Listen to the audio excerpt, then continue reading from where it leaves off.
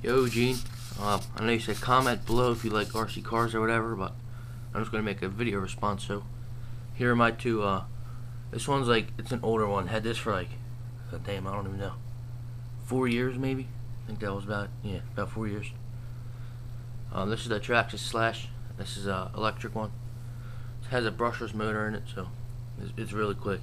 Uh, pretty yeah, I'm, pretty sure I have the one here that goes. Uh, I think it's like 75, but I haven't had this out in like a couple months actually, so I should make a video of it soon.